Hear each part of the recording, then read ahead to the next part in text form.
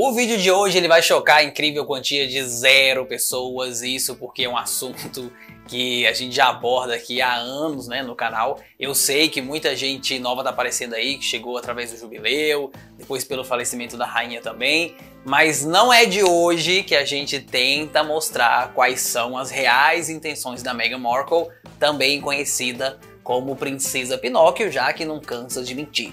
Segundo o autor Valentine Lowe, que ele tá para lançar um livro, né, inclusive chamado Courtiers, não, Courtiers, The Hidden Power Behind the Crown, ou O Poder Escondido por Trás da Coroa, é, ex-funcionários da Meghan, né, segundo ele, e do Harry também, disseram que trabalhar com os dois era o mesmo que trabalhar com um casal de adolescentes. Eu vou relembrar também é, algumas coisas que eu já trouxe aqui no canal, né? De alguns, de alguns livros, a, gente já fez algumas resenhas para quem chegou agora.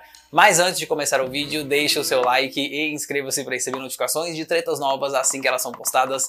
Siga também a nossa fanpage lá no Facebook, o nosso Instagram, custa nada e é de graça.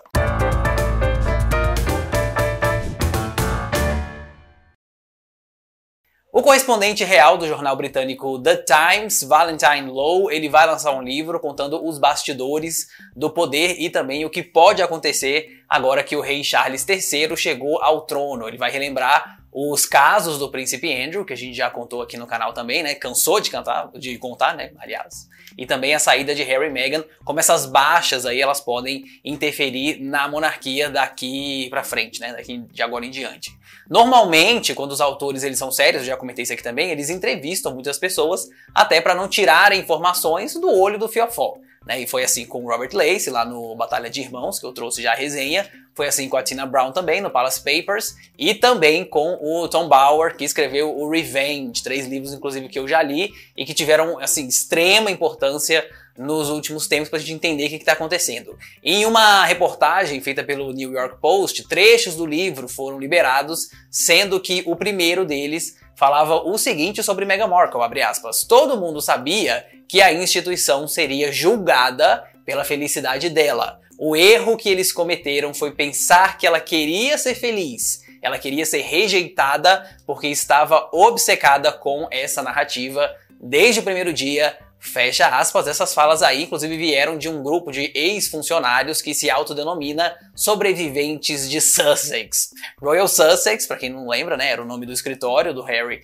e da Meghan, que são, aliás, também, né, duques de Sussex, né, duque e duquesa de Sussex. Muito que bem. Para quem chegou agora, eu já fiz um resumo sobre o livro Battle of Brothers, ou Batalha de Irmãos, escrito inclusive pelo Robert Lacey. O Robert Lacey também, para quem não, não lembra, né, não sabe, é um dos pesquisadores da série The Crown, e lá em 2021 ele já cantava a bola aí de que alguma coisa estava muito esquisita. Esse escritório aí, né, o Royal Sussex, nem era para ter existido para começo de história. Harry e Meghan eles trabalhavam com o príncipe William e a Kate Middleton lá no Palácio de Kensington, dividindo a mesma equipe. Porém, depois que Harry e Meghan começaram a dar os pitis, né, que eu já comentei aqui também, foi liberado um novo escritório para os dois, onde eles encheram de funcionários americanos. Já no livro Revenge, do Tom Bauer, que é muito mais explosivo, né, explana muito mais, ele deixa bem claro que a Meghan, ela usou a monarquia como uma escada né? Ela, ela sabia que ela não queria ficar lá, e eu vou voltar inclusive na história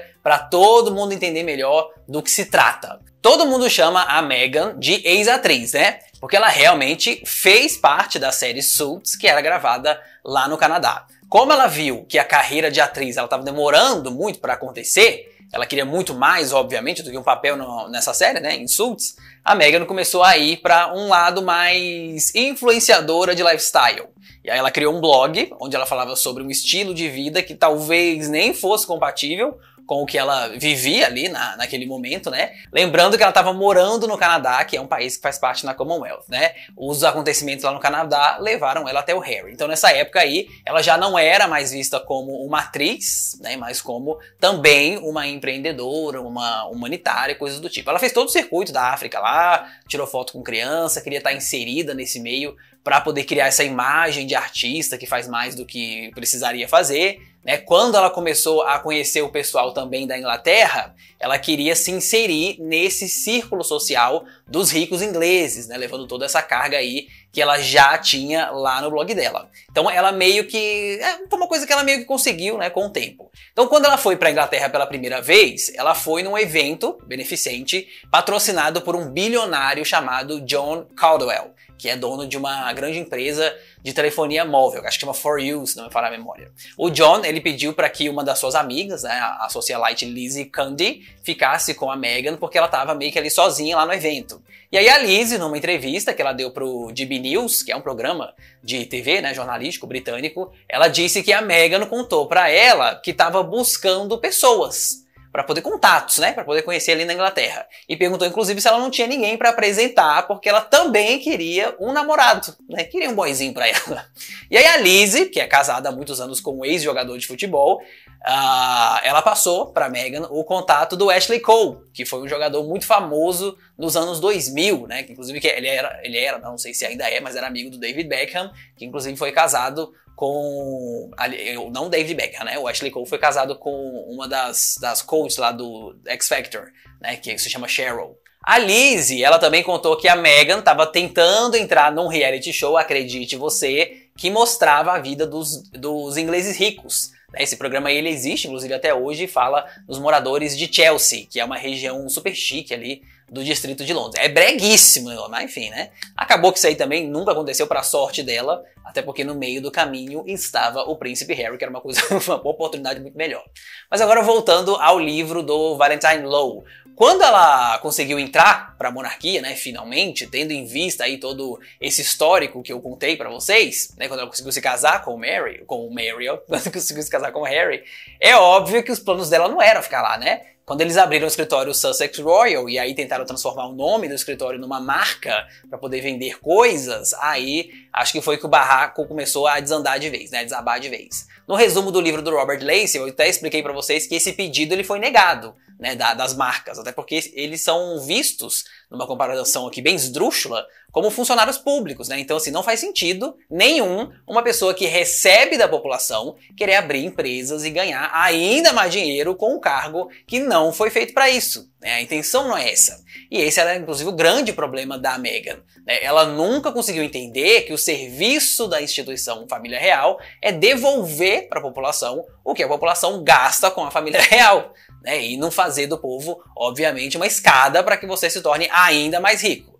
Né? Que você acha que isso aí é, é duvidar, sei lá, né? Enfim, né? acho que é, é brincar com inteligência alheia.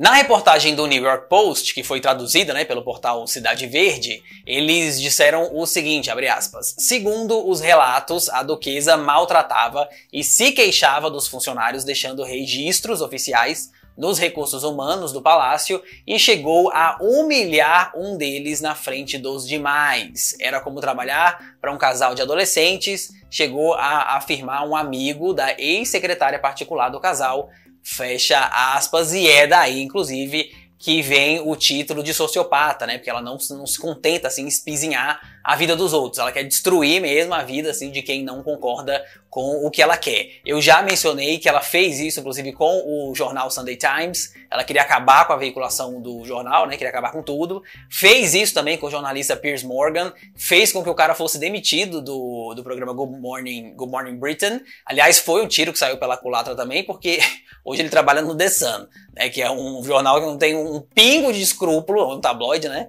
E deixa ele falar o que ele quiser. E ele, ele já é, por si só, uma pessoa sem filtro.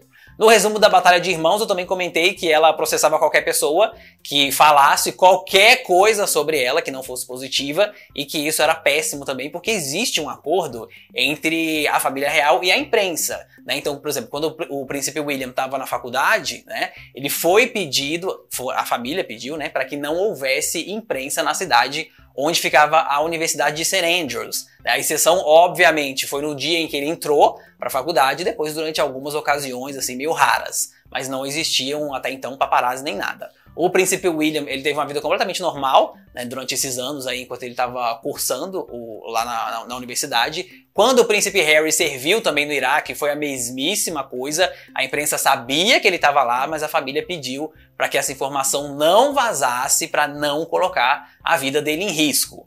Porém, esse acordo aí, ele acontece quando existe reciprocidade, né? A família concorda em dar algumas entrevistas e em não podar também, ou ficar censurando o que é dito pela imprensa. Coisa que Dona Megan mais fez enquanto ela esteve por lá. A questão do narcisismo também, a gente nem precisa entrar muito em detalhes, isso aí sempre foi muito claro. Ela quer ser o centro das atenções, ela não consegue dividir nada com ninguém, não consegue obedecer ordens também. Como eu já comentei aqui, né, na história da monarquia, ela foi a integrante que provavelmente menos trabalhou enquanto fez parte da instituição, e tudo isso por quê? Porque ela não queria fazer o que era mandado fazer né, o que vinha de cima. Ela queria ter as próprias ideias, fazer o que ela bem entendesse e infelizmente não é assim que as coisas funcionam. Em alguns meses do ano, né, inclusive, os membros seniors, que são aqueles principais, eles chegam a fazer mais de 20 eventos por mês. Você imagina você querer criar, desenvolver, ficar ali fiscalizando um por um é humanamente impossível. Esse livro aí do Valentine Low, ele tá em pré-venda e chega oficialmente lá no Reino Unido no dia 6 de outubro. Mais uma vez, eu acho muito difícil que tenha uma versão em português. Normalmente esses livros não tem, mesmo agora que o, o mercado do, de Portugal, com o mercado de Portugal crescendo bastante, mas enfim, né? Mas quando esse livro sair, eu vou comprar e eu, a gente vai trazer aqui para vocês debaterem. Deixa aí nos comentários também se você sabia dessa história toda de Princesa Pinóquio ou se foi uma novidade. Antes de sair, deixe também o seu like e inscreva-se para receber notificações de vídeos novos assim que eles são postados. Um beijo, um queijo e até a próxima.